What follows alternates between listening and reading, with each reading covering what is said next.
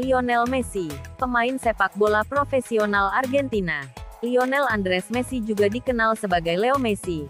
Lahir tanggal 24 Juni tahun 1987 umur 34 tahun adalah seorang pemain sepak bola profesional asal Argentina yang bermain sebagai penyerang dan kapten tim nasional Argentina.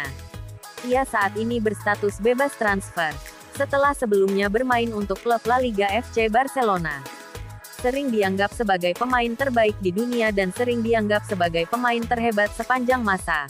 Messi telah memenangkan enam penghargaan Ballon d'Or, enam sepatu emas Eropa, dan pada tahun 2020 dinobatkan sebagai Ballon d'Or Dream Team.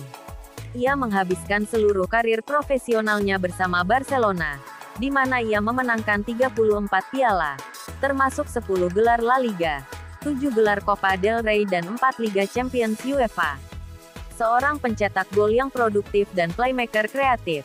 Messi memegang rekor sebagai pencetak gol terbanyak sepanjang masa di La Liga 474 gol, gol terbanyak di La Liga dan Eropa dalam satu musim 50 gol, 3 gol terbanyak di La Liga 36, dan Liga Champions UEFA 8, serta umpan gol terbanyak di La Liga 192, umpan gol terbanyak La Liga dan Eropa selama satu musim 21, dan umpan gol terbanyak di Copa America, 17.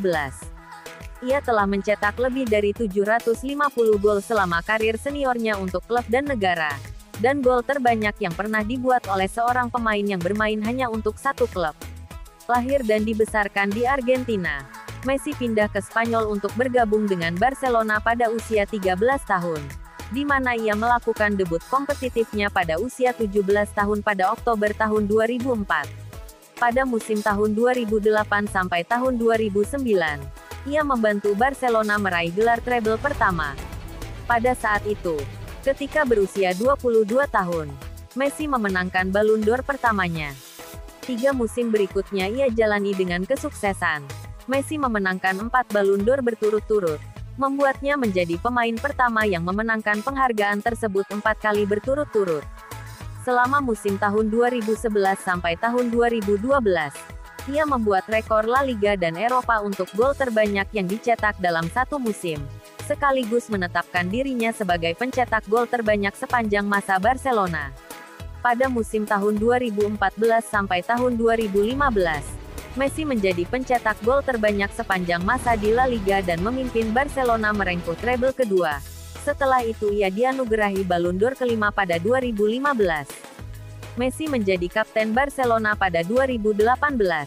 Dan pada 2019 ia memenangkan Ballon d'Or ke-6. Sebagai pemain tim nasional Argentina, Messi menjadi pemain dengan penampilan dan gol terbanyak sepanjang masa bagi timnas Argentina.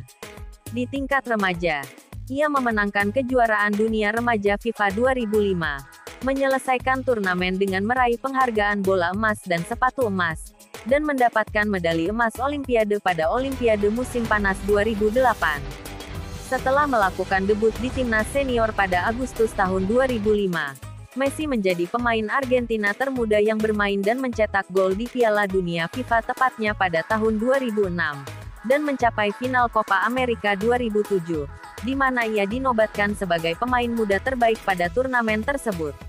Sebagai kapten tim sejak Agustus tahun 2011, ia memimpin Argentina ketiga final berturut-turut, yakni final Piala Dunia FIFA 2014, di mana ia memenangkan bola emas, serta final Copa America 2015 dan 2016.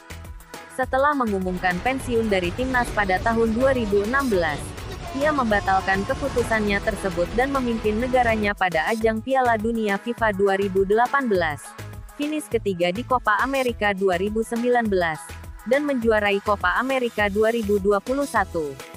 Menurut France Football, ia adalah pemain sepak bola dengan bayaran tertinggi di dunia selama lima tahun antara 2009 dan 2014, dan atlet dengan bayaran tertinggi di dunia menurut Forbes pada 2019.